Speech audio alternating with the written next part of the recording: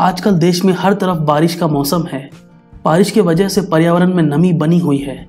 Picnic जैसा माहौल है। हालाँकि ये बारिश की बूंदें गर्मी से तो राहत दिलाती है, लेकिन साथ ही कुछ बीमारियों को भी आमंत्रित करती है। यदि मानसून के दौरान बारिश में खाने के ऊपर खास ध्यान नहीं दिया जाए तो यह स्वास्थ्य के लिए बहुत खतरनाक साबित हो सकता है। बारिश के मौसम में हमें क्या खाना चाहिए और क्या नहीं खाना चाहिए, इसके बारे में आज हम इस वीडियो में जानेंगे। तो चलिए, शुरू करते हैं हमारी खास पेशकश। मानसून के दौरान हमारा पाचन तंत्र बहुत कमज़ोर हो जाता है। इस वजह से खाए हुए आहार का पाचन मुश्किल से हो पाता है।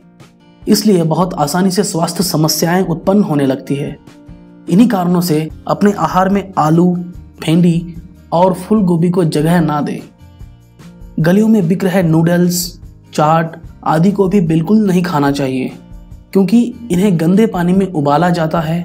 साथ ही इसमें ढेर सारा मसाला, सॉस और ख़राब तेल मिलाया जाता है, जो हमारे हेल्थ के लिए बहुत ही हानिकारक होते हैं। बारिश में पालक और पत्ता गोभी में कीड़े और उनके अंडे पर्यावरण में नमी के कारण बहुत आसानी से पनपते हैं। इसलिए इन्हें भी नहीं खाना चाहिए। अगर आप इन्हें खाना ही चाहते हैं तो सब्ज़ी को अच्छी तरह से गुनगुने पानी से धोकर ही खाएँ। बारिश के समय समोसा और कचौरी को हम कैसे भूल सकते हैं? लेकिन इनमें इस्तेमाल की जाने वाली सामग्री खाकर आपको एसिडिटी, पेट का इन्फेक्शन, डायरिया जैसी समस्याएँ हो सकती है। समोसा बनाने के लिए खराब और गंदी आलू का इस्तेमाल किया जाता है। इसलिए इस मौसम में समोसे और कचौरी से हमें बचकर ही रहना चाहिए।